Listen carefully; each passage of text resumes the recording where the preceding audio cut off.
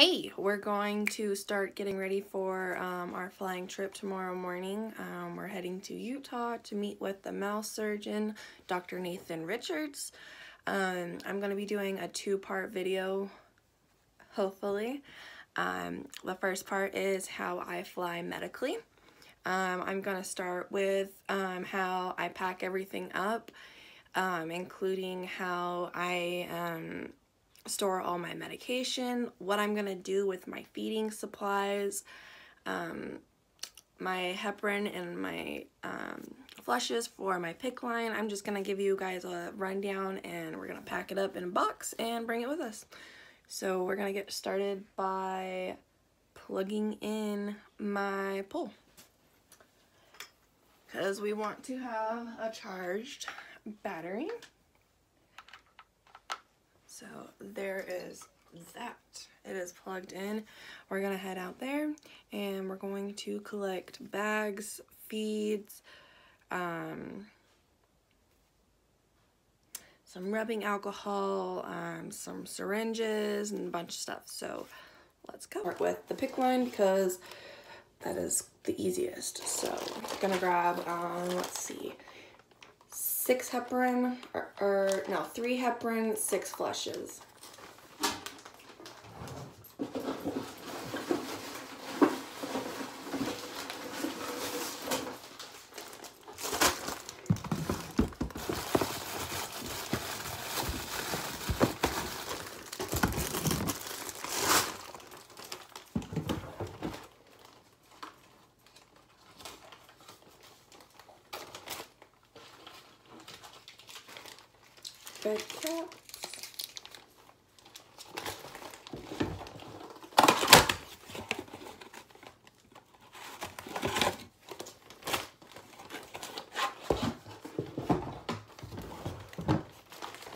And I'll grab gloves later.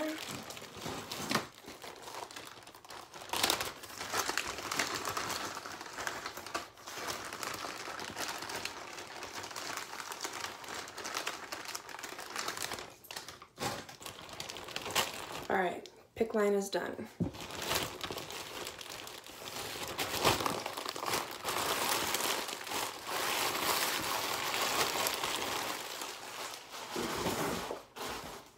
All right, so my prescription's written as like I'm supposed to go through six cartons a day. I can barely make it through two at this point. Um, another uh, question for the surgeon. Um, I um, I haven't been doing my feeds like I'm supposed to because it's causing so much, not pain necessarily, like really uncomfortableness. I get really lethargic and I just don't feel good. Um, my GI has, is lost for words. Um, my dietitian is also. So hopefully um, Dr. Nate Nathan Richards will have some answers as to like is there any tips I can do? If you have any tips for me please comment them. Like I am I am up for any tips. So we two bags because I won't be doing I'll be doing like one today but I won't be hooking up tomorrow when I'm in the plane. So hook up after that.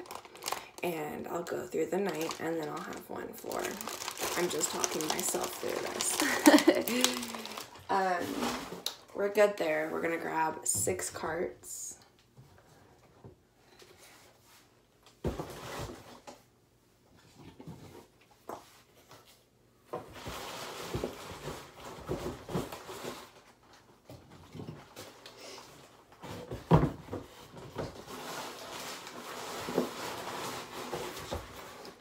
Perfect.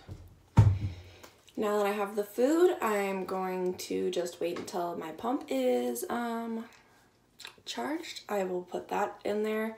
Um, I'm going to grab some of the hooks and the sticky um, guide strips. Packing my clothes, I tightly bundle them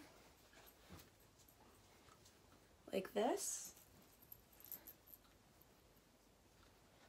So that I'm able to make sure that I have room for all my chargers. I'll need my charger for my wheelchair battery.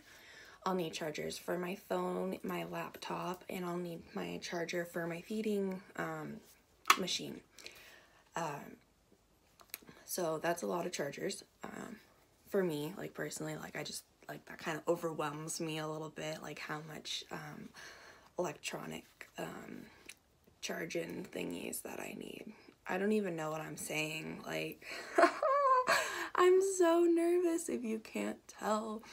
Um, the only thing that I need to do now is to find all the pieces um, that I need for to pack my um, wheelchair battery. I'm not allowed to have that on the plane, so I do have to pack that and um, have them board it underneath the plane.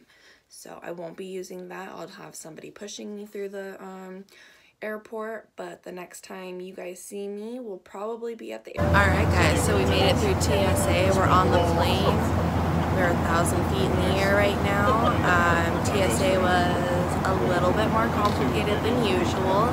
Um, I didn't go through the scanner, so they just like patted me down, took everything through, and made sure that I wasn't blowing anything up, and um, went through everything in our bags. So um, we did that, and then we went and we got on the plane. My wheelchair is down below the plane. I have. So how do I travel medically? Um, I use my wheelchair inside the airport because walking long distance and I do not get along. But if you are disabled at the airport, they offer free um, transportation to and from your plane. So I really encourage you guys to use a wheelchair when you guys are traveling. It makes it so that you don't have to worry about saving your energy. Um, when we get to the, the um, spot that you board your plane, I take off both wheels of my wheelchair and I take my cushion and my battery. Um, the wheels in the seat go underneath the plane, the cushion and the battery stay with me inside the plane. Um, once we get off, it's just like regular. We put the wheelchair back together and we go to baggage claim. So the next time we see you guys, we'll be at Ronald McDonald and I can show you how we packed everything. See you then. You know, the most stressful thing about going to Utah is that we don't really know if we're gonna have lodging until like we get here. So um, we stay with the Ronald McDonald House. God bless them.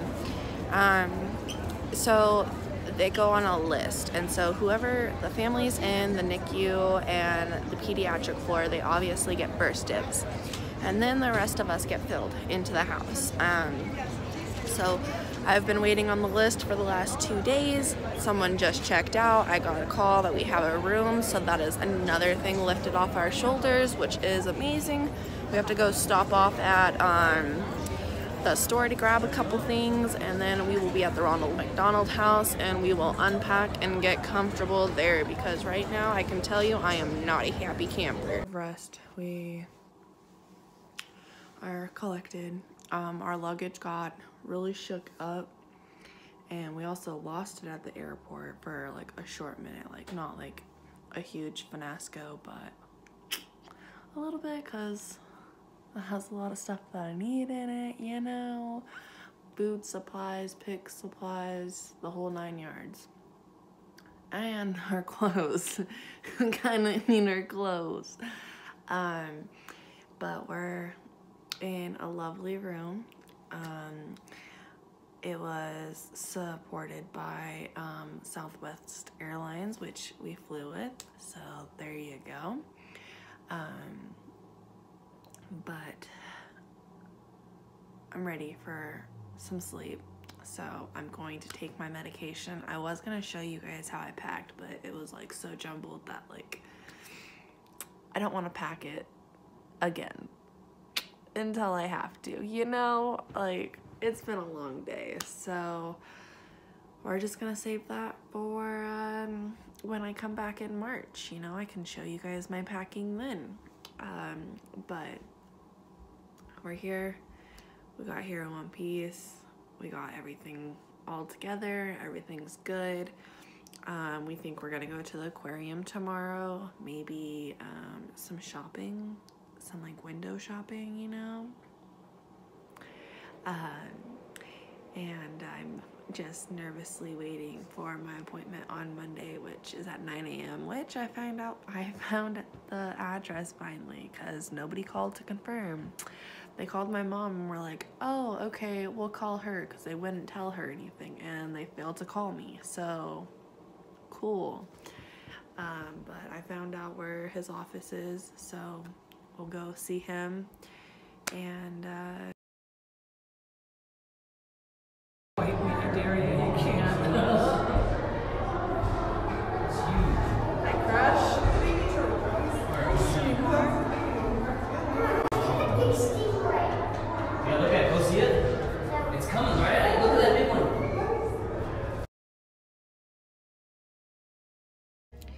We decided to go and have some fun today because I am super anxious about this appointment tomorrow to see the MALS surgeon as a surgery consult. I know mom is very stressed out about it.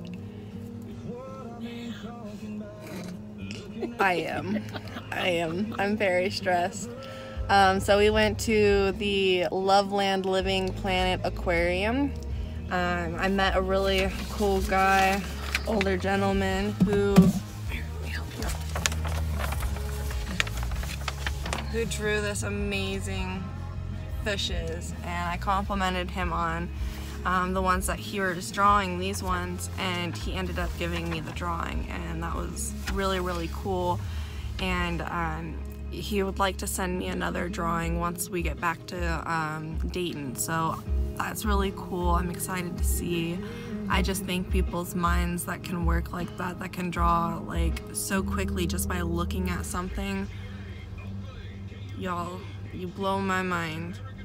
Um, so we are gonna go do a little bit of window shopping and find mom some food and we'll be back at the Ronald McDonald house and we'll touch base with you guys tomorrow morning. But it was a really fun experience at this aquarium. It was yeah, very big and very, very cool. They uh, also told us where all the spiders were, so we didn't go to those spots. Yay. So we appreciate that one. So mom decided to tucker me out so that I won't think about what's going on tomorrow because she does know that I'm nervous. And she successfully did it. She took me to the biggest aquarium that I've been to in my wheelchair. And then we went to the mall. As retail therapy. I found really cool pairs of Vans and I'll post a picture of those because they're dope. Um, but we are going to go to bed soon, I hope because I'm tired. Got a birthday sash? Oh, I did. I did find a 21st birthday sash. So I can't say what it says on the sash because this is YouTube and we are child friendly.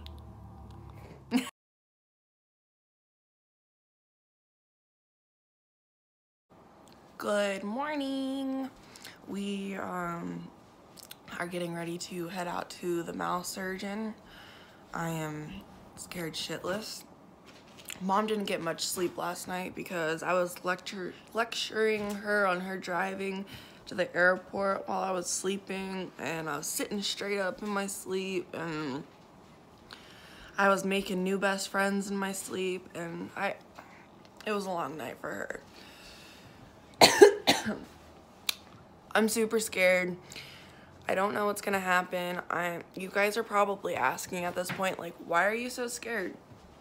I'm scared to be told again that I don't know what's wrong with you or you don't have MALS and now I'm at square one where I don't have a diagnosis or all the tests come back normal like mom says. Like I I'm so scared of getting the wrong answers that like if I do you can guarantee I'm gonna cry. Like I for me this is like life changing because food for me is life. Like I love food. I like to sit down at Red's 395 Grill, which is here local in Carson City. If you haven't tried it, go check them out. I love their buffalo wings. They are like when you get like a rotisserie chicken and you chop off the wings, that's your wings right there. You have to snap those in half and yeah, yum. You gotta like get their like um, femur and shit off of it. And they have the best sauce. Like, this is kind of like weird, but like to the point I would like bathe in it. Like, I want it on top of everything french fries, chicken, beef. Mm, no. Wait until you're pregnant. um, gosh, I, I just love that sauce so much. Dip it in bread, dip it in fruit. I'm, I meant vegetables, not fruit. But it's good sauce. So, like, it's life changing. Like, I need to eat again. I want to eat a meal and be okay and not feel like I'd like to die because of how bad the pain is and the pain medication's not working. I want food. Like I'm that's why I'm so scared. Like I just want food. Like this skinny girl would like some curves back on her, okay? We're here. We're going in. We got here a little bit early so that we could find the office because nobody called me to um, confirm. They called my mom and she didn't know that I didn't know where they were located. So, um, communication's key.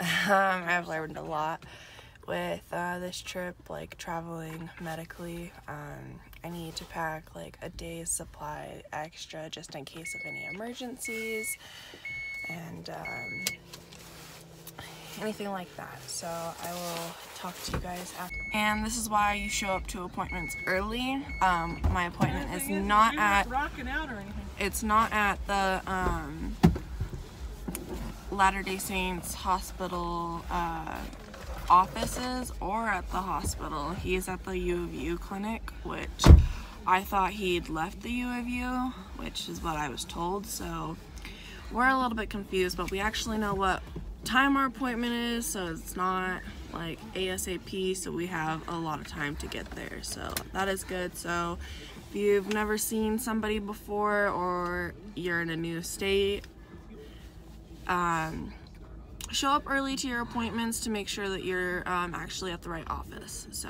We don't want to fly this far and not be able to see the doctor. That would have sucked. It would have sucked. We've been waiting over a year for this. So. Find address. Y'all say my name like 10 times and then you walk away without calling me back. Like, anxiety. Oh my god. Alright, we just got back into the car, literally. Um, we are racing back to the Ronald McDonald house to grab our things and then off to the airport because we have to return our um, rental car. Which, by the way, let's start with that. This bad. Woohoo! Almost did it. this bad car is so cool. It's got heated seats in the front and the back. It's got a heated steering wheel. Um, in the back seat for the kiddos, they have um, you can kind of see it Privacy these screens. privacy screens that you can pull up and put down as you want. Um, they've got um, USB um, plugs on each chair back here. Like they like kind of thought of everything. Like It it's has got its own a vacuum. cleaner. It's got its own vacuum. I mean, the storage in here is among us. The space room, it, there's just so much room for legs. Like no matter how tall you are, like my six foot seven dad would fit very comfortably in this car. My mom says she doesn't like um, Minivans. minivans, but she loves this one. Um, so now that we've got that car review over, it's a Chrysler I don't know. Chrysler Pacific. Pacifica. And it only has 700 miles on it. Yeah, we got it. Yeah, it's got 739 miles on it now. And um So let's go to the doctor now. Uh, Dr. Nathan Richards was uh, the surgeon I met with today. Um, after a very anxious long wait, um, we met with him. Very, very cool doctor. Um, even though that I'm 21, I don't have doctors that talk to me when I go to appointments. They always talk to my parents. Um, he was worried about conversation with me, not with my mom. Um, he was very respectful, explained literally everything from stem to stern, like from bleeding to recovery to what you're gonna do on the way there. Um, it was just, I'm very understood. I, I understand a lot of what he was saying, and um, he's gonna go laparoscopically, robotically, and um, uh, make a small cut to release the ligament and um, between three to six months we'll know if it actually worked. Um, if not then we'll start looking into something new but hopefully this will be the start of something great. Um, I have it set for March 12th we come back March 9th for um, other appointments so we'll get those done and then we'll go for surgery. Should be in, admitted for one to three days depending on how I'm doing. Um, it could go up to yeah, and then we have to hang out for a week here just to make sure everything's good. We don't have any um, problems that occur because I do have a um, high clotting um, factor. They are going to watch that very carefully. But They're taking care of you. they're, yeah, I believe that they're going to take very good care of me. It's going to be at the Latter day Saints Hospital here in um, Salt Lake City, Utah and um, I just think that I'm in very good hands. Um, my friend said that I would be in great hands, and I am absolutely in the best hands, I believe. Um, so let's just get to March 12th. Um, well, TSA was uh, a mess, and um, it only took 20, 30 minutes to get a woman to come and frisk me to be able to come sit on the plane. So that was fantastic. And then they took my phone and lost it, and so we finally found that halfway through. So it's been a mess, and I haven't filmed going through the airport, so I apologize, and we'll coming in hot. This is Brittany. I'm going to tell you a little bit how it is to travel in an airport with a wheelchair. Um, if you think that you're going to get through TSA in a couple minutes, you're wrong.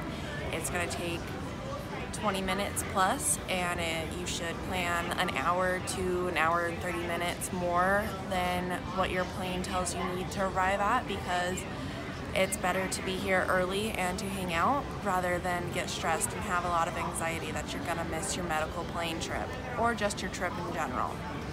Um, it, I would look out for others because they're not looking out for you. So don't be afraid to be boisterous and let people know that you're right behind them or if you're, uh, you need to get around them.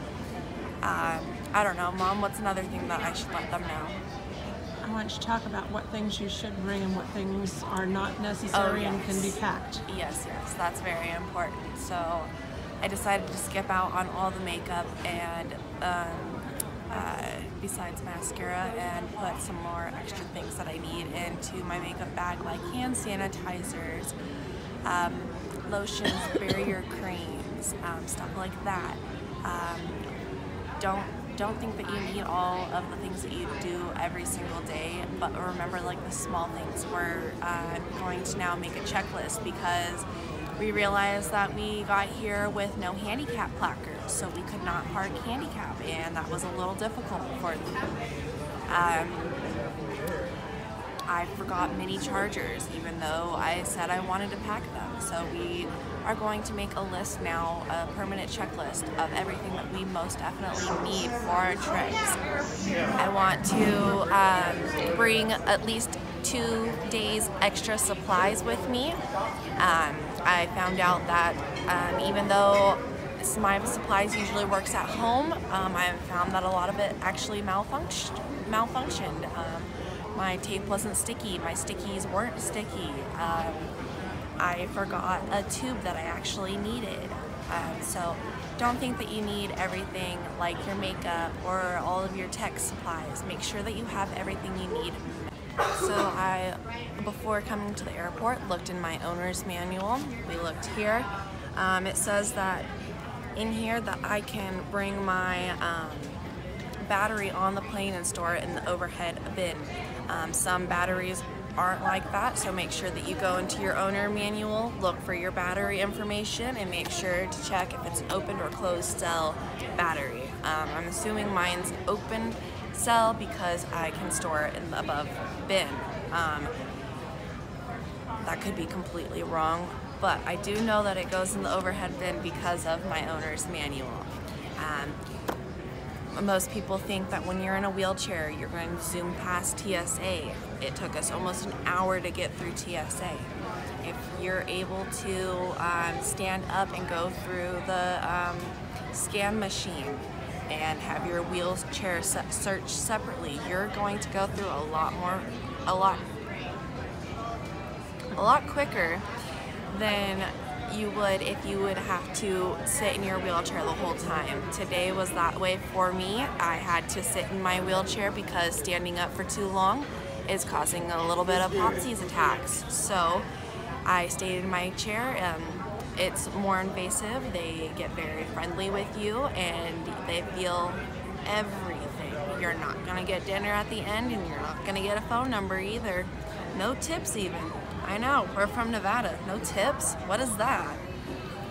Um, but in all in all, please read your owner manual and make sure that your battery um, is something that you do know about because um, though this time we didn't have any argument, who knows what next time this brings us. So when I travel, I will be holding the owner's manual with